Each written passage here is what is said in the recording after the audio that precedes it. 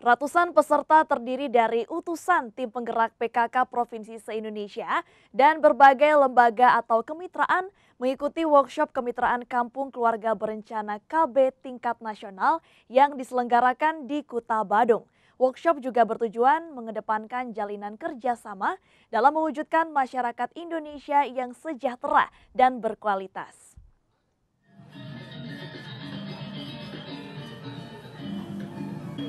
Ratusan peserta dari utusan tim penggerak PKK Provinsi se-Indonesia dan berbagai lembaga atau kemitraan mengikuti workshop kemitraan Kampung Keluarga Berencana KB tingkat nasional yang diselenggarakan di Kute, Badung.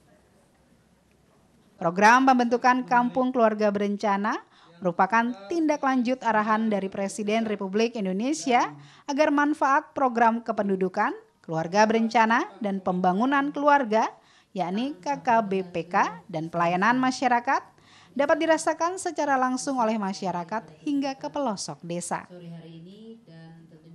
Sejak dicanangkan Presiden Joko Widodo pada tahun 2016 hingga 30 Juli 2018, telah terbentuk sebanyak 8.492 kampung KB di seluruh wilayah Indonesia.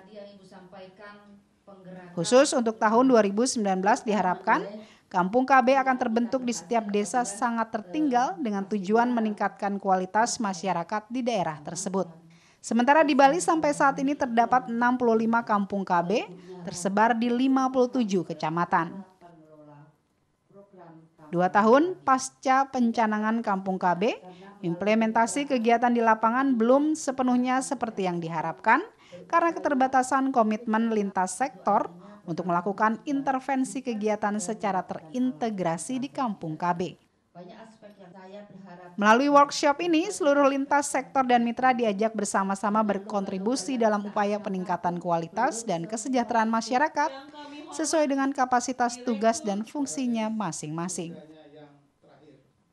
semua kerjaan nasional kita mesti harus bersama-sama. Jadi di sini BKK, BKKBN, dan dari semua lembaga kementerian standar kayaknya kita harus bekerja bersama-sama karena itu kerjaan yang besar.